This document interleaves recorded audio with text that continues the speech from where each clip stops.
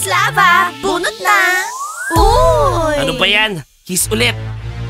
Well, ready na ako. Sige na, Mary Kiss. Diana, habang nagkikiss sila, bumunot ka na. Sige na, bunot na. Si Marcos ko muna. Sige na. Oh, Ano yan? lagyan ng kiss mark yung girlfriend. Oh no! Girls, hindi pwede. Nasa school tayo. Hindi pwede yung may kiss mark. Diana, itago mo na lang. So Diana, saan lalagay ni Marcos yung kiss mark? Okay, dito sa leeg.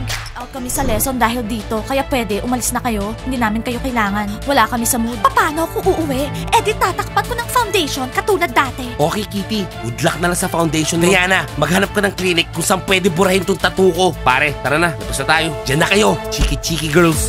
Anong sinabi mo? Diana, relax. Huwag na natin pansinin yung mga basketball players na yan. Diana, hindi. Ano yan? Teacher Mike, alam, namin kung ano yan. Sabihin namin. Tumahimik kayo dyan. Tinatanong ko si Diana. Pasa lang to, Teacher Mike. Talaga, Diana, pasa? Anong akala mo sa amin, tanga? Diana, kaninang first class, wala ka namang pasa dyan eh. Alam mo, Teacher Mike, hindi yan pasa. Alam ko yan. Kiss mark.